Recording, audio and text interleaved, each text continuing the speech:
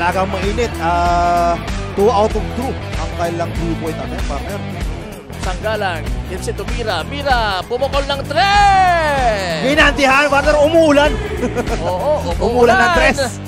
Ng tres sa unang ah, parte ng ating ah, bakbakan laban between, again, si Pokot at ng Ah, kailangan nilang ah, all they have to do here is to survive. So talagang kinokontrol nila yung momentum. Di sila masyadong sumasabay sa takbuhan.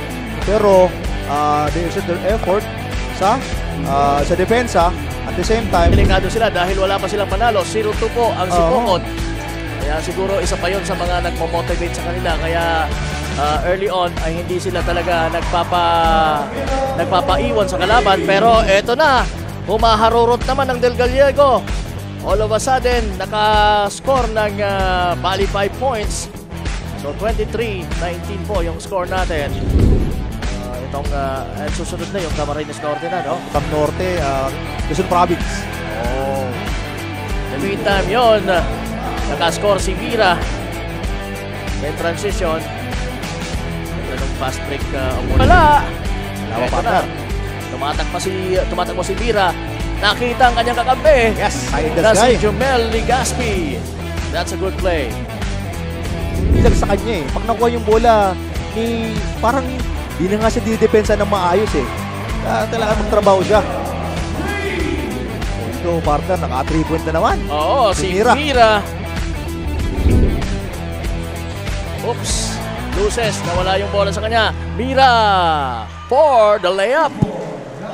Inurasan ko, partner, 1 and a half second. Oo. Ganun sila kabilis. Ganun kabilis. Tumira, si Mira. Ito naman si Sanggalang. Ito man ang ball movement niyan, partner. Mira! Tumira! For three.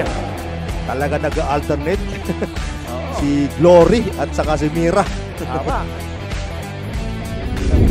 Receives the ball. Gives it to Mira. Mira, tumira sa tres! Talagang saktong-sakto sa kanyang apelyido. Oo. Mira to Mira. Oo, diba?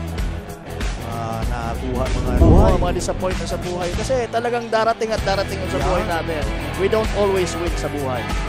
Samantala si Mira. Wala Tumira disappointment. na naman. Wala disappointment talaga. Ah, at saka, they are the winner in this ball game. Alright. Oh, antay na lang tayo ng final score. Oo. Napakaganda ng mga last minute natin na balitaktakan. Oo, parang ang maiiyak na ako eh.